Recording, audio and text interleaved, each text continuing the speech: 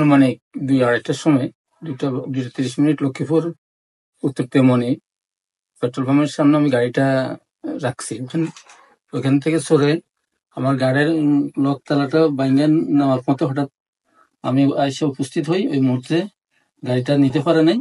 এখন আমি আমার গাড়ি নিরাপত্তার জন্য ট্যাক্সলটটা লাগাই। এখন আশা করি গাড়ি নিরাপদ জি আঙ্কেল আপনি যে পিসারগুলো দেখছিলেন এটার সাথে আমরা হচ্ছে জিপিএস ও দিচ্ছি প্লাস আপনার হাতে যে রিমোটটা এই রিমোটটাও দিচ্ছি। এখন আপনার গাড়িটা পুরোপুরি হচ্ছে রিমোট কন্ট্রোল এবং আমাদের যে জিপিএস আছে এই জিপিএস কন্ট্রোল ফোনের মাধ্যমে আপনি আপনার গাড়ি কন্ট্রোল করতে পারবেন ইভেন রিমোটের মাধ্যমে। চোর আর এই গাড়ি নেওয়ার কোনো সুযোগ নেই। আমরা একটু দেখাই আঙ্কেলের এই যে লকটা ভেঙে ফেলছে এই লকটা নতুন লাগাইছে ঘর লক ভেঙে ফেলছে। আর কত এক মিনিট এদিক সেদিক হলে মানে এক মিনিট হচ্ছে আমার গাড়িটা মানে চড়ে নিয়ে যেত। মানে চড়ে নিয়ে যেত। জি জি। ইনশাল্লাহ আর কি মনে হচ্ছে আঙ্কেলের আমি তো আপনাকে সব আশা করি ইনশাল্লাহ নিরাপদ। জি আপনি যে পিসারগুলো দেখছেন যে রিমোট ছাড়া গাড়ি স্টার্ট হচ্ছে না।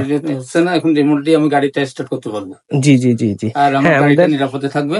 জি। এটা আমি যা নিরাপদে সেটা প্রত্যাশা করি। জি জি ইনশাল্লাহ।